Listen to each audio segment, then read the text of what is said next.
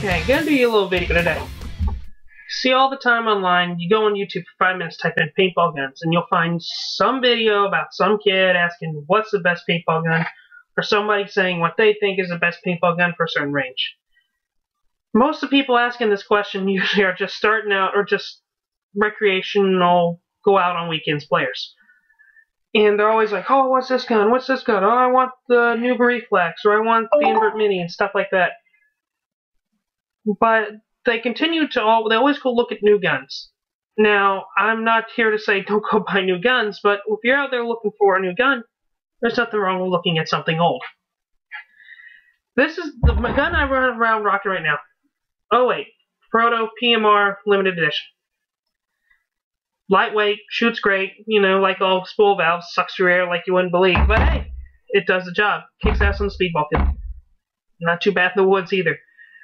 But you can find something that'll shoot just as good, probably get better air efficiency, maybe not be quite as light and small, and pay mm, a tenth, okay, maybe a quarter of the price. You can go online right now find one of these for 250 bucks. For $40, and I think there's still some of these on A&S gear, they got the RX. Spyder VS2. Now this isn't mine, this is my girlfriend's keep up with the proton rate of fire. A little bit better air efficiency. It's not the spool valve, you know, it's a blowback. You know, you got to do a little bit of coil, a little bit bigger, a little bit heavier, but rate of fire is good, more air efficient. Great gun. 40 bucks, you can buy one remanufactured. It's going to work perfectly fine when you get out of the box. You know, if you feel like taking an adventure, you can go on eBay, look around, you can find something like this. Diablo RAF.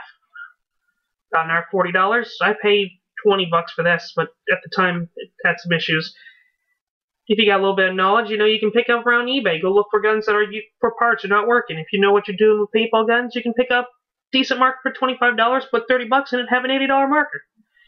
You know, it's all what you want to do. But if you want to get a new gun and you're not playing absolutely competitively, you're just a weekend warrior and you have some fun or have like a little team of friends, don't pass up old stuff. You never know; it could surprise you. I got a proto. I still rock a Spyder Sonix every now and then it's it's all what you prefer, but there's nothing wrong with getting an old gun. And if you disagree, well, let's hear it.